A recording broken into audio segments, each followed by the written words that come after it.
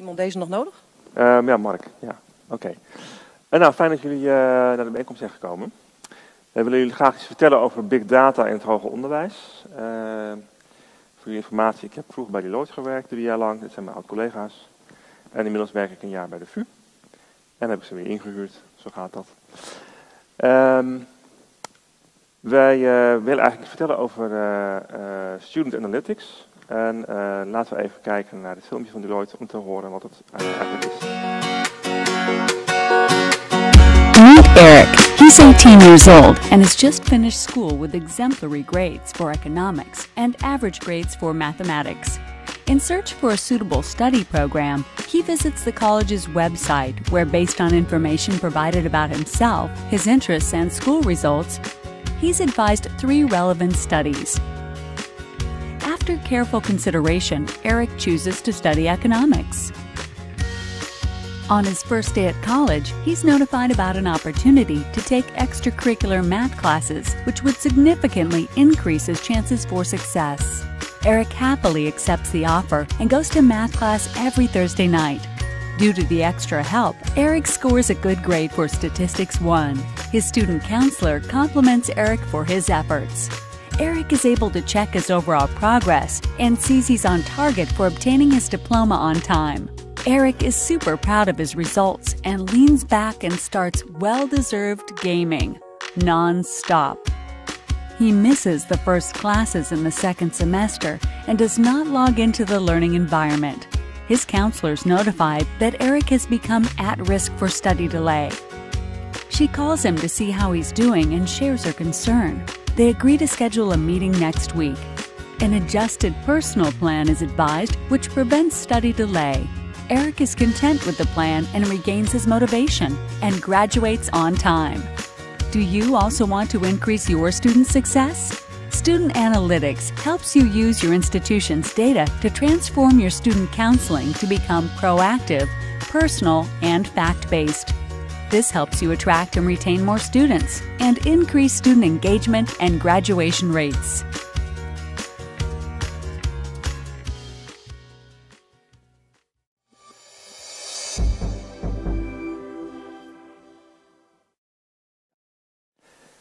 Um, nou, de vraag is, uh, heeft nou VU big data gedaan? Um, dat hangt af van de definitie wat uh, big data is. En uh, als je naar big data kijkt kun je het over vier aspecten hebben. Het volume van data, de omvang, de variëteit van de data die je hebt, de snelheid waarmee data zichzelf vernieuwt, velocity, en de waarde van data. We beginnen even met het eerste. De database die we hebben opgebouwd in de afgelopen periode uh, heeft ongeveer 24.000 studenten. Daar zitten 3,8 miljoen studieresultaten in. 7,8 gigabyte, dus is het big data. Nou, het past gewoon op je laptop, dus het valt mee. Maar in de aanpak was het uh, wel big en we hebben 2000 koppen koffie uh, gedronken in die tijd. Um, de variëteit, uh, zijn 752 variabelen. En in totaal hebben we 11 bronnen gecombineerd. En in die data zit vijf jaar aan historie. Velocity hebben we even iets anders bekeken. Wij kijken namelijk niet naar data uit Twitter of Facebook of een LMS. Ehm, waarom niet? Omdat een, uh, het, gedrag van data in een LMS hangt erg af van hoe een docent die systemen gebruikt en of die ze gebruikt. Dus bij de ene cursus uh, zegt het wel iets over het studie, studievoortgang, maar bij een andere totaal niet, omdat die docent dat systeem dan niet gebruikt. Dus wij gebruiken geen leermanagement systemen.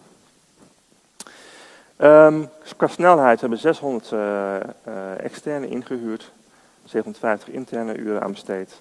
En een doorlooptijd was 10 weken voor wat jullie vandaag gaan zien. Uh, de waarde zit met name in dat wij vanaf nu evidence-based onze beleidsontwikkeling en begeleiding kunnen gaan doen. En daar gaat het ons om bij de VU. Wat willen we bereiken met Student Analytics?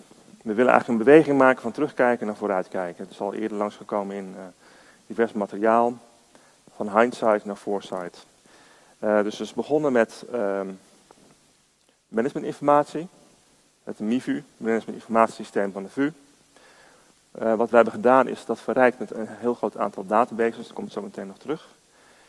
segmentatie en statistische analyse op losgelaten en een voorspelmodel ontwikkeld. En zometeen zal Mark u alles vertellen over het model en ik zal daarna nog ingaan op dit gedeelte. Belangrijk is voor mijzelf dat we dit al eerder hebben gedaan. We hebben het drie jaar geleden bij de UvA gedaan, bij faculteit. Twee jaar geleden bij, uh, uh, bij de VU. En ik merkte dat uh, het, was, het kwam niet uit het, uit het rapport. Dus je, het bleef bij een rapport steeds. En dat vond ik fascinerend. Ik dacht, waarom gaat de VU het niet gebruiken?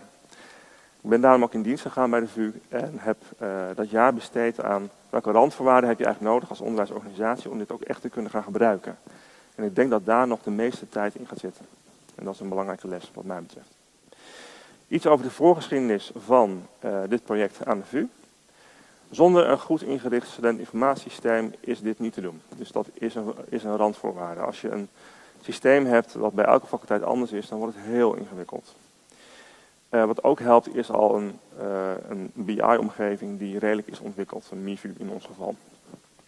Het is niet noodzakelijk dat het helemaal af is. We hebben ook in dit project diverse dingen aangevuld. Bijvoorbeeld de informatie over introductie van studenten was van één jaar, uh, waar de studentnummers erbij verzameld, en van vier jaar niet.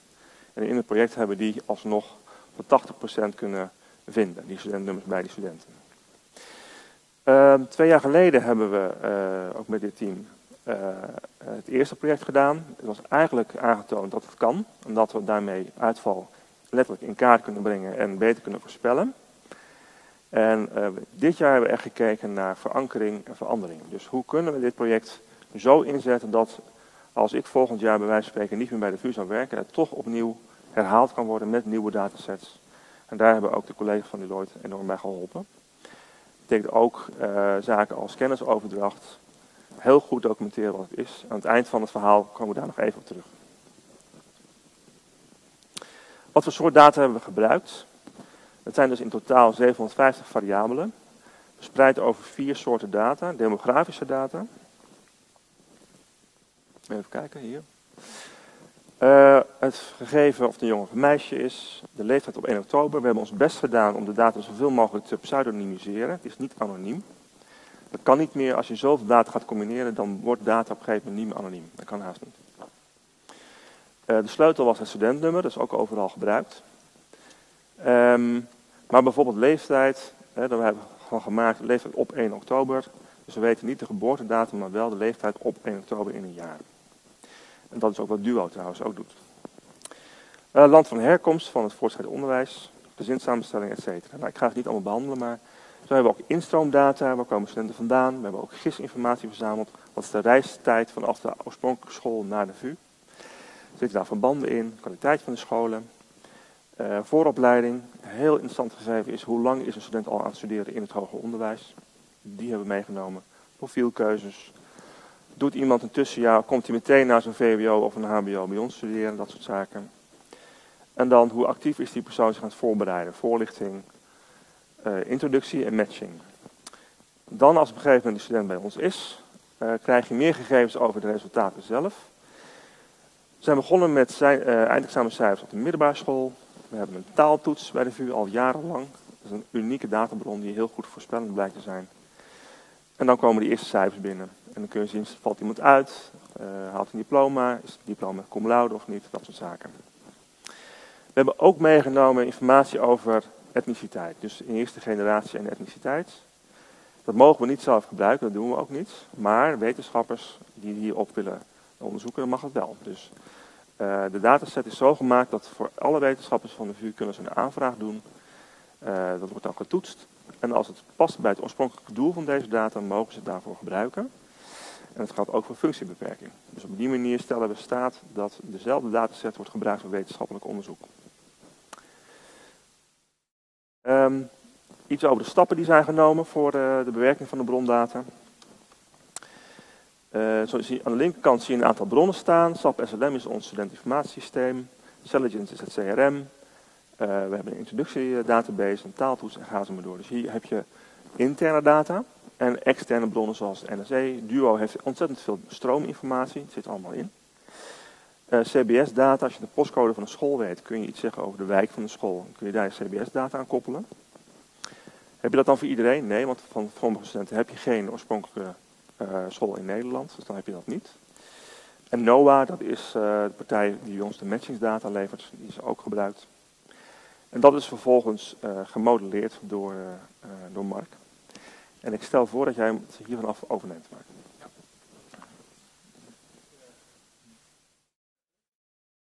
Bijna. Niet, hè? Nee, dat, als je me even wacht, hij staat nu wel. Ja.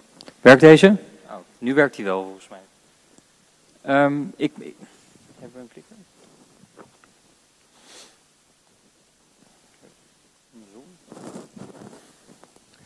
Ik mag jullie vertellen over hoe we een voorspelmodel hebben gemaakt. Uh, de reden waarom je een voorspelmodel uh, wil maken, dat uh, is eigenlijk heel erg simpel. Want als je, als je echt gaat nadenken van wat, wat je het liefste zou willen gaan doen, is in een glazen bol kijken, kijken naar welke studenten zouden dan uit gaan vallen in de toekomst. En dan zou je precies die studenten die gaan uitvallen, zou je gaan helpen. Um, feit is dat uh, glazen bollen, tenminste degene die werken, die, die bestaan niet echt. Um, maar er bestaat wel iets anders, en dat is predictive analytics. En dat is eigenlijk de data zo goed mogelijk gebruiken om toch die voorspelling in ieder geval zo goed mogelijk uh, te maken. Dat werkt uh, als volgt. Het werkt de, door een groep studenten te pakken. Wij hebben in dit geval naar 2014 cohort gekeken. En deze studenten in een groep ge gezet. En één heel belangrijk iets, en dat, dat hebben we ook afgestemd met de wetenschappers van de, van, van de VU. We hebben een controlegroep van 15% van deze studenten hebben helemaal apart gehouden. Zodat we het model gingen maken, helemaal niet naar die 15% hebben gekeken om later te kijken van hoe goed doet het model dan eigenlijk op die 15%. Wat we met 85% hebben gedaan, is precies gekeken van hoe kunnen we nou zo goed mogelijk een relatie leggen tussen de informatie die beschikbaar is bij die studenten en of ze zijn uitgevallen of niet. Want bij het 2014 koord weten we gewoon of mensen zijn uitgevallen of dat mensen nog vrolijk door aan het studeren zijn. Wat we, wat, wat, wat we daarin ook doen, en dat is, dat, dat is nog een uh, beetje ingewikkeld.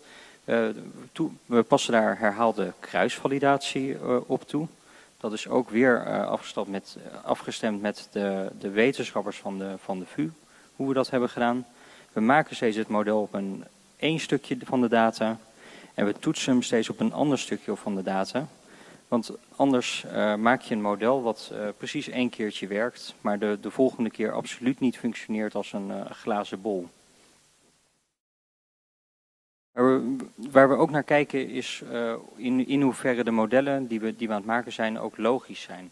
Dus als, als, als we dan gaan kijken en we, en, we, en, we, en we kijken naar een student en die haalt heel weinig studiepunten in een, in, in een jaar, geeft het model dan ook terug dat uh, deze student een hogere kans op uitval heeft. Wat we vervolgens met het model kunnen doen, en dat is eigenlijk uh, waar het echt heel erg interessant wordt, is als we naar het uh, volgende cohort gaan, en dat gaan we ook nu, dat gaat Theo straks wat meer over vertellen, gaan we bij de VU ook echt toepassen. We kunnen een student pakken van een nieuw jaar, en daar kunnen we diezelfde relatie extrapoleren. Ik ga even ietsje, ietsje te snel. Um, en die, dan kunnen we van die nieuwe studenten daar ook kans op uitvallen aangeven. En dat betekent dus ook dat je je kan richten op die studenten die de hoogste kans hebben op uitval. Of juist te richten op de studenten die heel, een hele lage kans hebben op uitval. Maar ze eerder zullen willen benaderen met een ondersprogramma bijvoorbeeld. Dan kun je je afvragen van hoe goed is zo'n model nu? Uh, we hebben dat gedaan door een uh, mean absolute error te berekenen. Dat is zo simpel als, uh, als, als, als we zeggen dat iemand 30% kans heeft op uitval en die valt daadwerkelijk uit. Dan zit er 70% tussen. Dan heb je het 70% fout. Op het moment dat die persoon niet uit zou vallen, dan zou je 30% fout hebben gehad. En op die manier kunnen we ook zien dat we het gemiddeld genomen 16% fout hebben. Um, en wat eigenlijk interessanter is, is om te, om, te, zien dat aan de start van de studie is het een ontzettend lastige schatting. Want dan zijn de gegevens nog vrij generiek. Dan hebben we nog gemiddeld genomen 36% fout. En gedurende het jaar wordt, wordt de voorspelling steeds beter tot aan dat je eigenlijk, uh, eigenlijk ook gewoon aan de BSA-norm voldoet of dat je um, niet aan de BSA-norm voldoet. Het model wat we gemaakt hebben, die heeft een aantal kenmerken. We hebben ook een aantal uh, dingen hebben heel expliciet voor gekozen en bepaalde dingen hebben we wat minder expliciet voor gekozen. We hebben heel expliciet gekozen dat we alleen naar de variabelen gaan kijken, waar Theo ook al net naartoe refereerde, die niet privacygevoelig uh, zijn. Uh, je kan je voorstellen dat als je, als je een studieadviseur bent en je, je gaat naar een student toe en je zegt van ja, vanwege je etniciteit heb jij een lagere kans op uitval. Dat, uh, dat, dat, dat raar overkomt op de studenten en dat dat ook misschien wat teweeg brengt wat je helemaal niet teweeg wil brengen. We hadden, hadden wel daarnaast ook nog zeker 500 variabelen gedefinieerd. En daar hebben we een keuze in gemaakt door te toetsen of, op, op welke manier werkt het model nu het beste. Uh, zijn verschillende kenmerken. Dus we hebben persoonskenmerken zoals leeftijd, geslacht. Uh, maar we hebben ook heel veel motivationele aspecten die uit de matching bijvoorbeeld uit, uitkwamen. Zoals of je proactief van plan bent om je studie op te pakken of dat je er zelf zelfvertrouwen in hebt. Dat laatste kenmerk geeft ook al wat informatie heel erg vroeg in het jaar over of studenten het goed gaan doen of niet zo goed gaan doen. We hebben gekeken naar of je je vroeg hebt aangemeld en wat minder vroeg. En uiteindelijk uh, vloeit het allemaal na, naar de, de, resultaten zelf. Dat is eigenlijk uh, misschien het meest interessante toevoeging van wat we, wat we de vorige keer hebben ontwikkeld en van wat we nu hebben ontwikkeld is dat we heel erg nagedacht hebben over per periode waar wil je dan eigenlijk je voorspelling op baseren. En we hebben, we, hebben getoetst dat uh, in het begin van het, van het schooljaar, dan heb je eigenlijk heel veel informatie die allemaal een beetje bruikbaar is voor een hele moeilijke schatting. Maar je weet eigenlijk nog niet zo heel erg goed uh, hoe een student op dat moment het aan het doen is. Je hebt vrij weinig capaciteit of prestatiekenmerken om je op te baseren. En want dat zijn, dat zijn feitelijk nog alleen maar de middelbare schoolcijfers. En wat je merkt gedurende het jaar is dat je, dat je informatie van de universiteit zelf, dus hoe doet een student op, het, op de universiteit, wat voor cijfers haalt hij, dat je die steeds beter uh, kan inzetten om een veel nauwkeurige schatting te maken. En dat je daarmee ook veel minder van die andere gegevens nodig hebt, zoals hoe wat is bijvoorbeeld het middelbare schoolcijfer voldoet, uh, doet er eigenlijk heel weinig meer aan toe op het moment dat je ook hoe doet een student het op de universiteit uh, ernaast legt. En ook heel veel van de motivationele componenten, die, die, die verliezen eigenlijk zijn uh, voorspellende waarde op het moment dat je in het jaar je, de echte informatie aan het verzamelen bent over hoe iemand het doet. Gedurende het jaar uh, neemt ook de, de, de, de, omliggende waarde van die resulta resultaatgevers, die, dat, daar kijken we in het begin van het jaar dan heel breed naar. Dus dan kijken we niet alleen naar het aantal studiepunten, maar dan kijken we ook bijvoorbeeld naar het maximumresultaat, naar het aantal no-shows. Daar, daar, daar, daar kijken we naar een ietsje bredere set en naarmate het jaar ve verder gaat, en natuurlijk uh, op een gegeven moment uh, is het aan het einde van het jaar, dan kan je, dan kan je inschatten dat iemand die de BSA-normen wel heeft gehaald, een hogere kans heeft om niet uit te vallen. Naar, naar, naar, naar, naarmate het jaar verder gaat, ook net daarvoor, uh, dan kijken we op een gegeven moment naar heel weinig kenmerken. Dus alleen maar naar, de, naar welke opleiding doet iemand, het aantal studiepunten en, en de leeftijd die nog een invloed heeft. Of iemand wel of niet doorgaat met een uh, bepaald aantal studiepunten.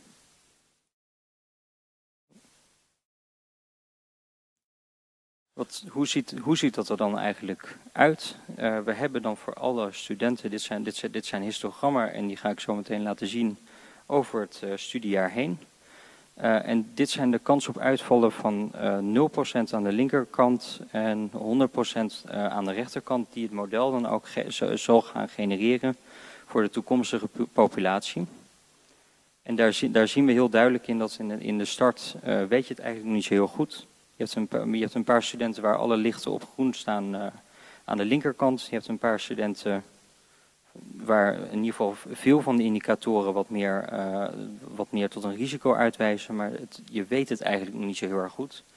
En naarmate het jaar verder gaat, hoe beter je het kan weten en hoe meer het ook spreidt naar uh, deze, deze studenten gaan uitvallen en deze studenten gaan niet uitvallen en de twijfelgevallen die in het midden liggen. En dat zie je na de tweede periode. De derde periode is het eerste semester. Dat zie je zo vormen over het jaar heen. Even het woord uh, terug aan Theo. Ik heb de microfoon. Oh. Ja. En waarom is het nou zo belangrijk? Dankjewel, Mark. Je wil eigenlijk al op dit moment met die studenten gaan spreken die uh, aan deze kant zitten. En als je dat pas doet als je een BSA hebt, dan ben je gewoon letterlijk twee maanden verder. En is de, zomer, is de kerstvakantie gewoon al voorbij. En ja, dan mis je gewoon heel veel kostbare tijd. Die studenten zelf ook. Um, het tweede is dat de, de tijd die je nu investeert als medewerker in uh, studenten die het zou, zouden nodig hebben, dat weet je eigenlijk niet. Dus je bent vrij breed bezig als, als of uh, tutor. Je spreekt met iedereen. Natuurlijk is in het begin van belang voor een binding. Maar we zeggen eigenlijk, laat de studieadviseur met die studenten bezig zijn die, waar het vanuit dit perspectief van belang is dat ze die aandacht krijgen. Of andersom, dat je juist met de excellente studenten je het meest bezighoudt. Dat blijkt namelijk ook goed te zijn voor een heel cohort. Uh, omdat je dan de lat hoger, hoger trekt.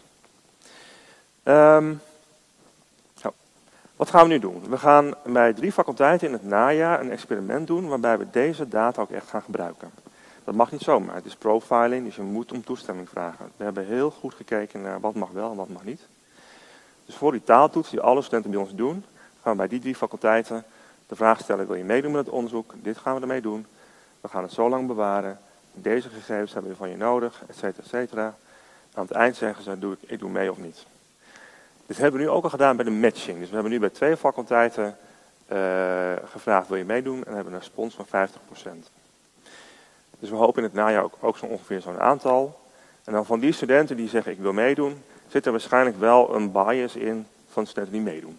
Nou, daarom gaan we in die groep gaan we de helft wel op deze manier adviseren en de andere helft niet. Dat staat ook beschreven in de toestemmingsverklaring. Dat doen we een jaar lang. En wat gaan we doen in het jaar? De opdracht wordt aan de studieadviseurs, ga niet iets nieuws doen met deze studenten, maar ga de dingen die je al deed, ga die eerder doen en ga richten met deze studenten. Bijvoorbeeld bij de faculteit Economie en Bedrijfskunde hebben ze workshops over hoe moet ik eigenlijk effectief studeren. Die workshop wordt voor deze studenten eerder en gericht en verplicht aangeboden. Uh, dus het is dezelfde workshop die ze eerst in februari deden, die gaan we dan naar voren halen voor deze groep studenten. Want we willen juist kijken of we met de dingen die we al deden efficiënter en effectiever kunnen omgaan. Dan volgen we een jaar lang en dan weer die twee wetenschappers, die doen daar een effectmeting op. Dus wat doen we? De toestemming is binnen van de student. Dan is er na elke periode een kans op uitval en die wordt gebruikt voor prioritering van advies. De studieadviseurs krijgen dit dashboard.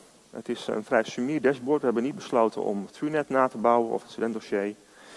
Uh, wat je hier ziet is een lijst van de opleiding uh, rechtsgeleerdheid. Uh, dit zijn trouwens echte data, dus je ziet hier een verdeling van, van de studenten. die stel je neemt de bovengroep.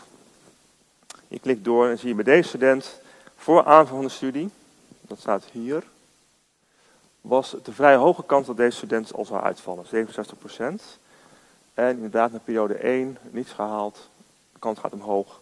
En periode 2 maar 6 punten. Dus het gaat niet goed met deze student. Uh, we hebben met studieadviseurs doorgenomen wat voor informatie wil je nou eigenlijk zien. En we hebben de data die we hebben opgesplitst in motivationele data en prestatiedata. Aan deze kant denken wij, dit zijn kenmerken die hebben iets te maken met ben je gemotiveerd. Ben je bij de oriëntatie geweest, bij open dagen, dat soort zaken. Hoeveel vertrouwen heb je zelf? En een hele goede voorspeller ook qua motivatie is het aantal dagen tussen 1 september en, de aanmelding. Hoe eerder je aanmeldt, dus de zekerder je weet dat je die studie wil gaan doen, ben je op het laatst, is de kans heel klein dat je het haalt. Um, hebben we hier stoplichten ingezet? Nee. Studieadviseurs willen dat eigenlijk niet. Het is namelijk ook niet een stoplichtsysteem. Het is niet rood, groen, oranje, maar het is echt een, een schaal. Dus ze zeiden, geef het nou zo dat het gewoon daar staat. We leggen wel uit dat het dus betekent niet kans op succes, maar kans op uitval aan die student. En uh, dan kun je echt een printje meegeven. Het is verder heel belangrijk dat precies uit te leggen is aan die student, wat hebben we dan meegenomen? Dit is dus een white box model. Um, uh, de studieadviseur moet zelf kunnen vertellen aan die student, dit vind ik niet zelf, maar is op basis van deze gegevens um, hebben we dat uh, nu voorspeld. Dan is het belangrijk dat je kunt afzetten tegenover andere studenten. Dat doen we hier, in deze kolom. Dat is een benchmark. En dan zal de ene student zeggen, ja, ik ben een gemiddelde student, dus vergelijk mij, vergelijk mij dan maar met het gemiddelde. Maar de betere studenten, die willen graag zichzelf vergelijken met de topstudenten. Dus hier zie je, hoe scoren nou eigenlijk de beste studenten op deze dingen. Dan zie je dat bij deze student waar het rood is, zit hij in de onderste regionen, groen bovenin. En hiermee kun je zien, zit het meer als een motivationeel probleem of een prestatieprobleem, of is het misschien allebei. Hier heb ik een andere student, geloof ik. Um, nee, dat is nog steeds dezelfde student. Ja, het gaat beter met hem. Sterker nog, hij heeft het uh, licht gezien. We hebben die interventie gepleegd. En uh, hij is gaan studeren, of zij, ik weet het niet. Um, en na periode 4, 30 EC, 5,4% voor uitval. Dus je ziet, deze student die hebben we uh, misschien door dit advies omgedraaid. Nou, dit zijn echte data, dus is nog niet in gebruik. Maar vanaf 1 september gaan we dit gebruiken. We gaan elke twee weken met de club van studieadviseurs hierover praten. Hoe gebruik je het? Wat doet het met je als je het gebruikt? Ik ben zelf afgestudeerd in mijn studie op het effect op een studieadviseur als je dit soort dingen gebruikt. Uh, dat is heel belangrijk om mee te nemen, want studieadviseurs vonden het heel lastig om dit te gaan gebruiken. Maar toen wij eenmaal die privacy goed hadden geregeld en ook de studenten echt toestemming geven om hier aan mee te doen, toen werd het een ander verhaal. Dus heel belangrijk was deze maatregel. De studentenraad staat er helemaal achter. Denkt mee over de tekst en hoe het eruit ziet. En die wetenschappers die dan de effecten onderzoeken. Echt die drie dingen zijn heel belangrijk voor het succes van deze projecten. Um, dit is een andere student, criminologie. En hier zie je dat bij deze student van meet af aan eigenlijk al uh, goed gaat. Um, heeft heel veel gedaan in de voorbereiding. Scoort op de middelbare school een 8,2, wat heel erg hoog is. En ging na iedere periode gewoon nominaal door, lijkt het. Hè? Ja. Zelfs nog iets meer. Hij heeft hier één vak extra gedaan. Um, of zij, ik weet het niet. De tweede manier van analyse, dit is een beetje uh, raar geworden dit plaatje, maar is um, segmentatieanalyse. Daarbij hebben we alle data bij elkaar geveegd. Um, en daar is vervolgens een self-organizing map techniek op losgelaten. Die kijkt eigenlijk welke groepen van variabelen horen bij elkaar en er zijn dan uh, acht segmenten in gemaakt. Um, ik kan het nu niet lezen, maar we hebben ervoor gekozen om deze acht te, uh, te maken. Um, we hebben gekeken naar uh, prestatiekenmerken, um, bijvoorbeeld uitval diploma naar uitval naar 1 en 2 jaar, diploma naar 3 en 4 jaar. En omdat we wisten dat verblijfsjaren in het hoger onderwijs een heel belangrijk gegeven zijn en ook de leeftijd van de student, hebben we die ook meegenomen. Um, en dan komen dit soort platen eruit. Die wil ik met jullie bespreken. Hoeveel tijd heb ik eigenlijk nog? Nee, dat is mooi. Ja. Um, maar wat krijg je dan? Je krijgt voor elke variabele die je daarin in meegeeft, krijg je een kaartje. En zoals je ziet, um, ik ga even rechtsboven, zit uitval in deze kaart aan de linkerkant. En diploma zit aan de rechterkant van de kaart. We hebben twee segmenten uitval, 1 en 7. Het verschil daartussen komt zo meteen nog terug. En dan zie je dat na twee jaar dit segment erbij komt. Dit zijn nu opeens ook studenten die uitvallen. En na drie jaar komen hier ook een aantal studenten bij. De barometer aan de zijkant die verandert per plaat. Toevallig zijn ze hier allemaal even lang. Uh, rood is iedereen is uitgevallen, dat is dus hier. Blauw helemaal niemand. En dan zie je bij deze plaat dat er een soort gemixt gebied ontstaat van studenten aan deze kant. Valt pakweg 30%, 30 alsnog uit. Dat is natuurlijk een drama voor studenten als ze na drie jaar nog een keer uitvallen. Um, nu de andere kant op. Diploma. Aan de rechterkant iedereen met een diploma met een paar uitzonderingen. Na drie jaar, dus nominaal. En dan vier jaar, nominaal volgens de prestatieafspraken. En vijf jaar. Dit zijn dus eigenlijk langstudeerders. Dit zijn de, voor studenten zelf en ook voor de VU, probleemstudenten. Deze plaat laat zien de tijd tot het diploma. Dat kun je berekenen. Dan zie je dat deze hoek hier bovenin 2,5 jaar doet over een diploma. Blijken allemaal studenten zijn met vrijstellingen uit het HBO. Dus die komen binnen met een korting en die halen ook snel een diploma.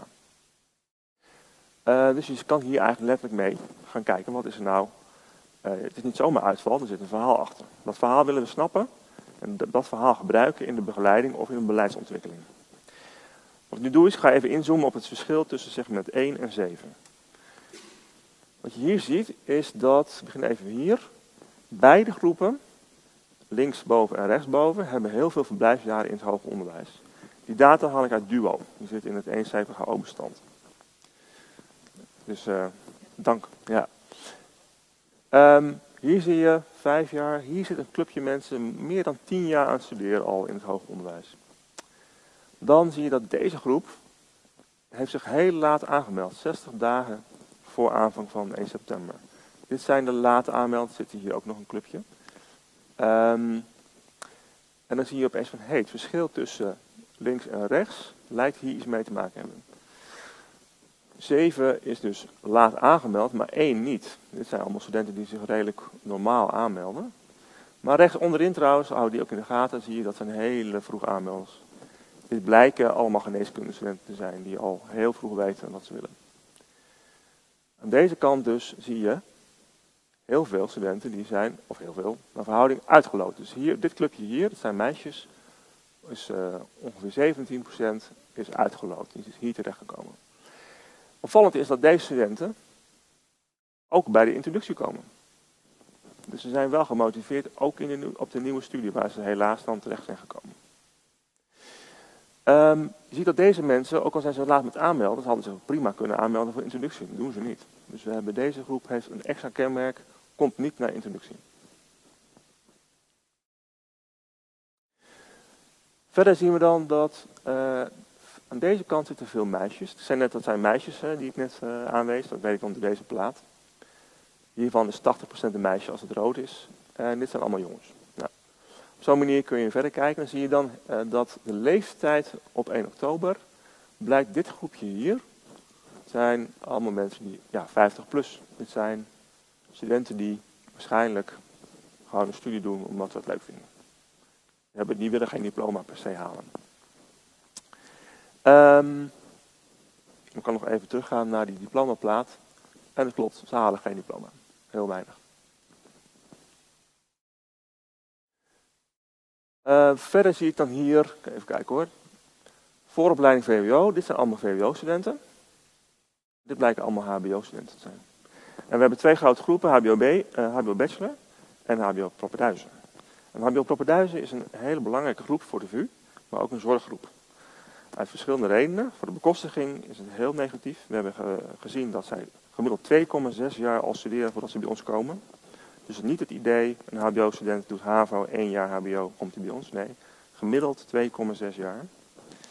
Maar ze zitten ook bij die gewoon heel goed studeren. En we willen eigenlijk niet de barrière zo hoog maken dat we geen hbo-studenten meer binnenkrijgen. We willen wel uh, effectieve maatregelen nemen die de betere hbo-student kunnen identificeren. En dat die ook kansrijk bij ons beginnen. Um, daar zitten nu nog midden in, dus daar kan ik nog niet veel over vertellen, maar het lijkt wel iets te maken met kwaliteit op taal en ook hoe snel je dus een HBOP-proppenduizen haalt. Vijf minuten is heel goed. Komt, uh, komt prima. Um, hier heb ik het kenmerk middelbare school uitgezocht. Zie je dat hele goede studenten zitten hier, gemiddeld een 8,5. Vooral wiskunde zitten ze hier. En Engels is wat meer vlak verdeeld dus je kan hier zien dat het middelbaar schoolcijfer gemiddeld, wat een goede voorspeller is, en wiskunde, wat ook in het model is terechtgekomen, dat die twee veel sterker zijn dan om alleen naar Engels te kijken. Dan de reistijd. Wat ook opvallend is, is dat deze groepen hier, gemiddelde reistijd naar de school, is langer. Ze komen van verder weg. Ze komen van origine minder uit de regio Amsterdam. Dan oriëntatie. Ook hier weer zien we dat deze studenten hebben zich niet georiënteerd. Dat is logisch, als jij je heel laat aanmeldt, zijn er geen mogelijkheden meer om je echt breed te oriënteren. De open dagen zijn geweest, meeloopdagen zijn er ook niet meer. Dus wat doen deze studenten? Die kijken vooral naar brochures. Dat zie je hier. Dus HBOP-studenten kijken vooral naar, vooral naar brochures eigenlijk. Hebben wij nu onze brochures afgestemd op deze studenten? Nee, onze brochures zijn nu nog geschreven voor 18-jarige VWO-scholieren. Dat willen we gaan veranderen. Dus we willen eigenlijk kijken naar het moment in het jaar, zodat het materiaal dat je dan ziet ook is afgestemd op die studenten die, die dan het meeste baat bij hebben. Ander voorbeeld. Tot nu toe hadden ze iets van iemand die zich vroeg aanmeldt, krijgt één keer bericht van bedankt voor je aanmelding, over een paar maanden komen wij terug. Terwijl juist die studenten, die moet je um, van meet af aan meer mee communiceren. Dus dat zijn we dus ook gaan doen. We gaan het omdraaien. Ja.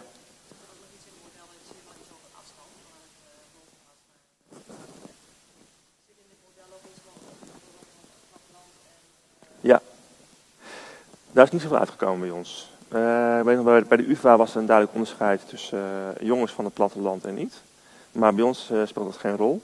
We hebben wel ontdekt dat wij echt een regionale universiteit zijn voor de meeste gebieden, met uitzondering van gezondheidszorg. Daar zijn we dan marktleider van in Nederland. Daar komen studenten wel van verder weg. Ja. Um, dus hier kijken we dan ook naar um, extensief daar, dus open dagen, komen zijn veel meer. Wat je ook ziet is dat deze groep hier, die doen alles.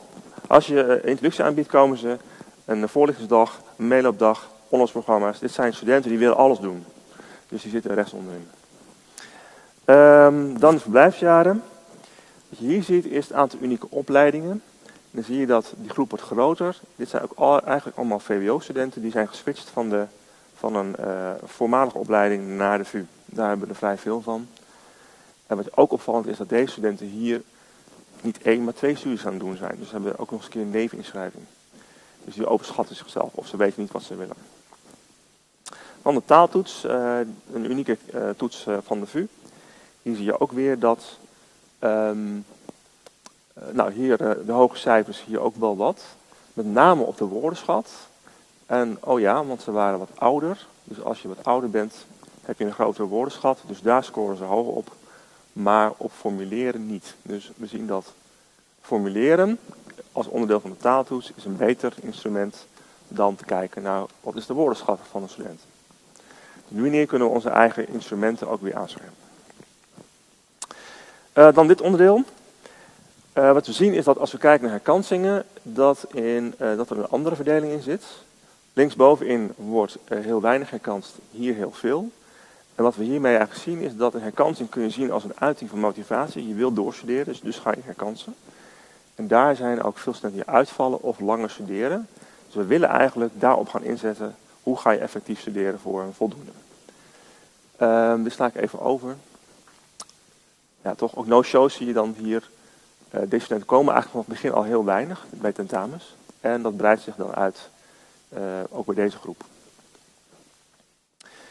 Dan krijgt de kaart dus twee dimensies, namelijk de ene kant uitval en uh, diploma, maar ook wat wij noemen academisch zelfmanagement en hoog of laag.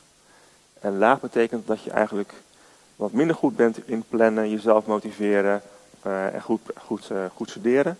En dat kan deze groep juist heel erg goed. Dan de laatste slide, die ik even met Harm Waarom denken wij nu dat het van waarde wordt bij de VU? Wat hebben we daarvoor eh, als randvoorwaarden ge gecreëerd? Heel belangrijk is dat wij een document hebben gemaakt, een productvisie. Dat als duo of uh, wie dan ook zegt van wat hebben we nou eigenlijk gedaan? En welke keuzes hebben jullie gemaakt en waarom? Dat is allemaal beschreven in dit document. Hier staat ook precies in welke privacy hebben we gevolgd, wat zijn naar de logica in geweest. Dus is een, eigenlijk een, een verantwoording. Uh, heel belangrijk is geweest de betrokkenheid van studenten wetenschappers, studieadviseurs en het hoger management. College staat hier uh, volledig achter. En de beleidsmedewerkers. Dus we gaan ook hier bovenop allemaal dashboards bouwen. Zodat beleidsmedewerkers hier zelf mee aan de slag kunnen. Um, tweede is um, dit stukje, randvoorwaarden. Uh, we hebben ook een goed verhaal, want we hadden al een keer aangetoond dat het, uh, dat het werkte. En de VU wil heel graag meer rendement halen uit de studenten, vandaar het momentum.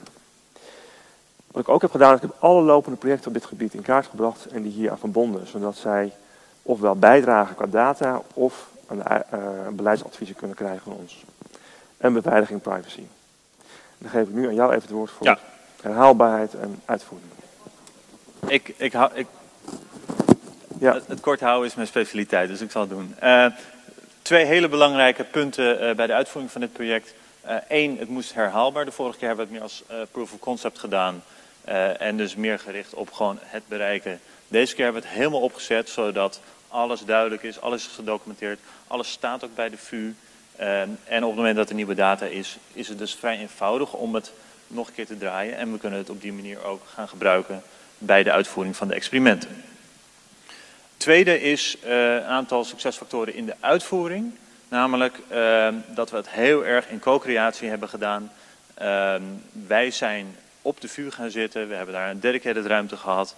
Daarin hebben we ook elke dag met experts van de VU hebben we samengewerkt aan, uh, aan dit project. En op die manier heel duidelijk overgebracht ook van nou zo pakken we het aan, dit doen we om deze reden. En kort valideren waarom we dingen op een bepaalde manier hebben gedaan. Dat hebben we gedaan uh, volgens de Scrum methodiek. Uh, um, en daarin hebben we dus ook echt een interdisciplinaire samenwerking weten te bereiken. Um, en ik denk dat een, een, heel belangrijk punt om nog even mee te geven is... in het begin werd al gezegd tien weken tijd. Nou, dat is best beknopt voor, voor, voor hoeveel we hebben gedaan. Um, en de tip daarbij is focus niet op de laatste 2%. Ga niet proberen alles 100% uit te, te, te vogelen. Uh, maar accepteer ook gewoon dat er op een gegeven moment 2% zijn die je niet kan verklaren. Weet welke het zijn en ga dan door. Uh, dat was hem.